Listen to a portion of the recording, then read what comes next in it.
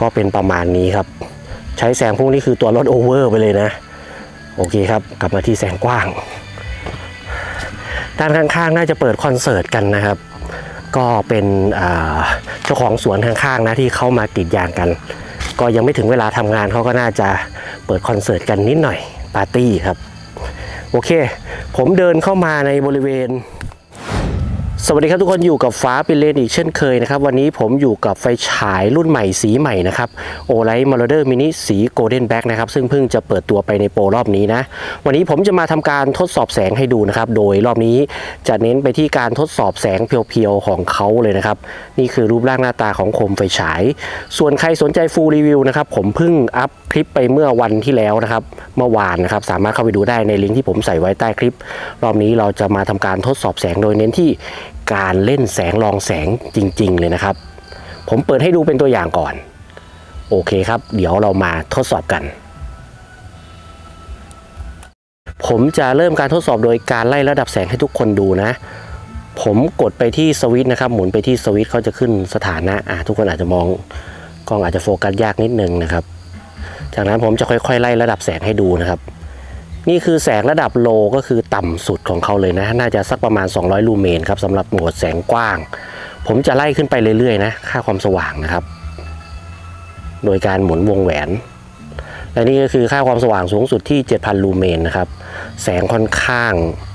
สว่างสวยแล้วก็ออกมุมกว้างๆนะครับ อะผมจะยกขึ้นมาให้ดูนี่ครับ แสงที่ได้ของเขาก็จะประมาณนี้นะ อะผมปรับมุมกล้องลงมาอีกนิดหนึ่งครับ ก็จะได้ประมาณนี้ส่องไปรอบๆในบริเวณต้นสวนยางครับที่มีต้นยางพาราเยอะมากๆนะครับ คราวนี้เรามาดูแสงพุ่งของเขากันบ้างนะครับ ก่อนที่ผมจะถือเดินให้ดู ในขณะที่อยู่ที่แสงระดับเทอร์โบเหมือนเดิมนะครับ แต่ว่าผมเปลี่ยนเป็นแสงพุ่งบ้าง กดสวิตช์ตรงอ่าโอเคครับ นี่คือลักษณะของแสงพุ่งของเขา 900 ลูเมตรระยะส่องไกล 600 เมตรนะครับ แสงก็จะพุ่งเป็นลำแล้วก็สปอตกลมโตนะครับ สปิวแทบจะไม่มีนะครับ มีนิดนึงนะครับ แต่ว่าตรงสปอตตรงกลางของเขานั้น กลมโตมากๆ ผมเลื่อนมาส่องใกล้ๆให้ทุกคนดูนะ นี่ครับ พอส่องใกล้ๆลักษณะแสงของเขาจะเป็นแบบนี้ โอเคครับ เดี๋ยวเรามาถือเดินทดสอบกันเดี๋ยวผมจะถือเดินทดสอบให้ทุกคนดูนะครับ โดยผมจะใช้โหมดแสงกว้างแล้วก็ค่าความสว่างสูงสุดที่ระดับเทอร์โบของเขาเลย โอเคครับไปแสงสว่างแล้วก็กว้างมากครับ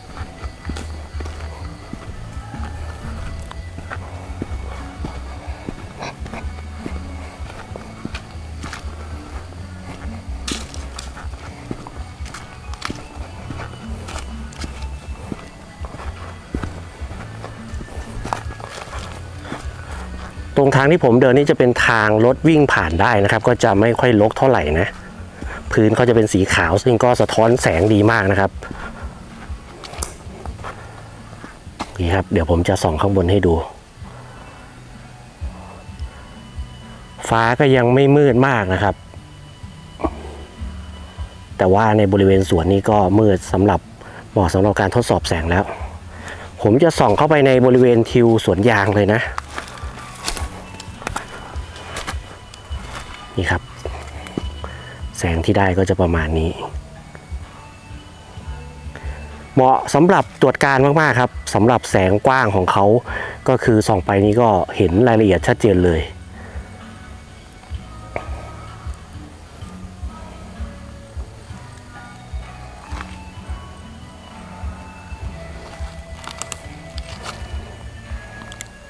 ผมส่องบริเวณพื้นให้ดูใกล้ ๆ นะครับ ส่องบริเวณพื้นนี่ก็คือแสงค่อนข้างที่จะโอเวอร์เลยนะ นี่ครับ แต่ถ้าส่องมาเงยกล้องขึ้นมานิดนึงนี่ก็คือรายละเอียดมาเต็มมาตรึมครับ แสงที่ได้ค่อนข้างสวยเลยนะครับ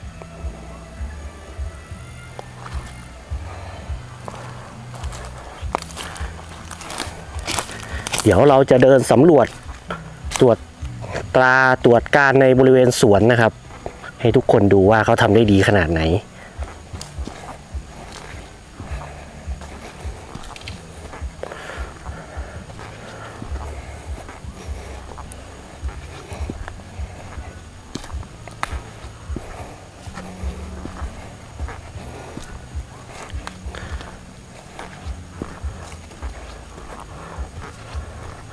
ผมเปิดเทอร์โบยาวๆเลยนะครับ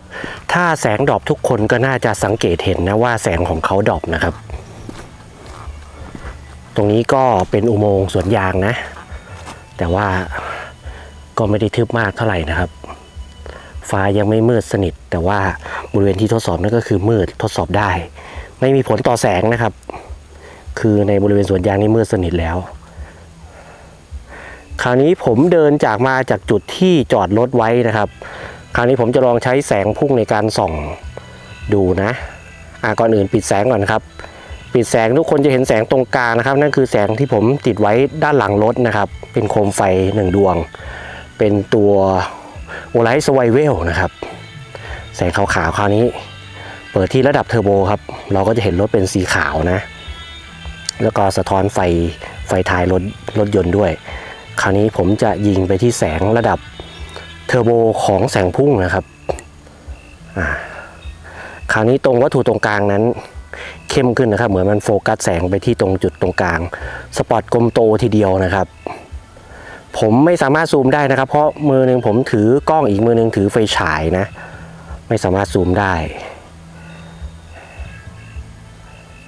เดี๋ยวผมลองส่องไปเรื่อยๆนะ ลองส่องแสงพุ่งในบริเวณตรงสวนยางพารานะครับ แสงที่ได้ก็จะประมาณนี้ เดี๋ยวผมจะสลับส่องให้ดูนะว่า แสงพุ่งให้แสงในลักษณะนี้นะครับ คราวนี้เรามาดูแสงกว้างของเขาบ้าง ในบริเวณสวนยางพารานี้น่าจะเห็นชัดนะครับอ่าผมเลือกตรงจุดนี้แล้วกัน สังเกตตรงกลางที่แสงส่องนะครับ ว่าเป็นลักษณะแสงแบบนี้ ถ้าผมเปิดแสงกว้างนี่ครับรายละเอียดมาเต็มแล้วก็ความกว้างของแสงนี่ก็คือเต็มเฟรมกล้องเลยนะครับ โอเคครับเราจะถือเดินกลับไป อันนี้คือผมถือไฟฉายในมุมยกสูงขึ้นนะครับ เหนือกล้องนะ มันก็จะได้ภาพอีกมุมหนึ่งนะ ถ้าถือในระดับเดียวกับกล้อง มุมมุมมองภาพจะเป็นแบบนี้นะครับ คราวนี้ผมถือยกขึ้นสูงอะแตกต่างไหมก็แตกต่างกันนิดนึงนะครับ แล้วก็มุมมองการเห็นจากสายตาจริงนั่นก็คือ ก็จะกว้างขึ้นนะครับ เหมือนเรายกไฟสูงขึ้นนะ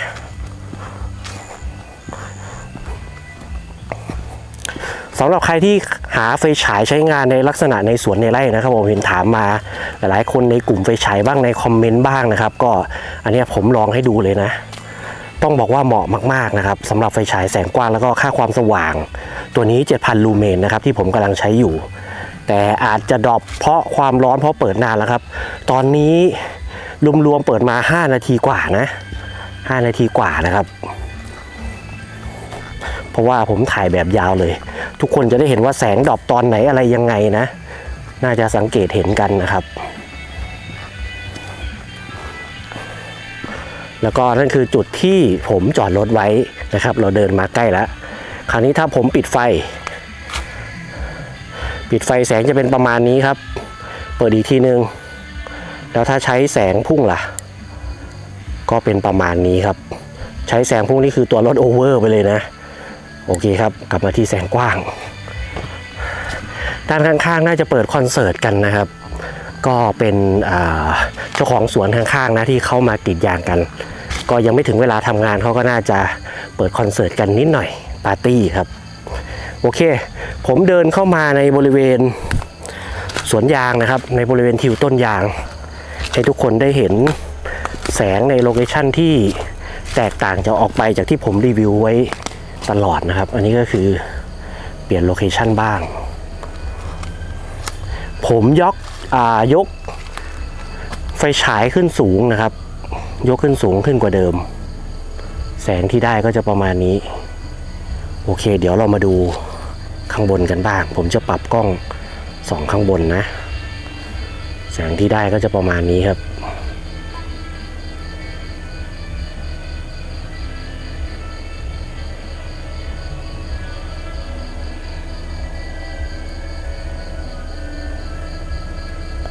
เจ็ดนาทีกว่าๆนะครับ มีปิดบ้างนิดหน่อยนะครับ แต่ก็น่าจะพอได้อยู่ โอเคครับ เริ่มเมื่อย น่าจะเป็นข้อมูลให้กับสำหรับคนที่อยากดูแสงแบบเต็มๆของเขานะครับ ตัว o l i g h t Monitor Mini ตัวนี้ของผมเป็นสี Golden Back นะครับ มาพร้อมกล่องเคสแข็งสำหรับการใช้งานก็อย่างที่ทุกคนเห็นนะ ผมว่าใช้งานได้ดีมากๆในการส่องตรวจการส่องค้นหา เดินในสวนในไร่หรือใครที่ต้องการลักษณะแสงกว้างๆนะครับ เจ้าตัวนี้ตอบโจทย์เลยทีเดียว ส่วนใครที่สนใจอยากดูรายละเอียดข้อมูลก็สามารถเข้าไปดูที่ลิงก์ที่ผมใส่ไว้ใต้คลิปได้นะครับ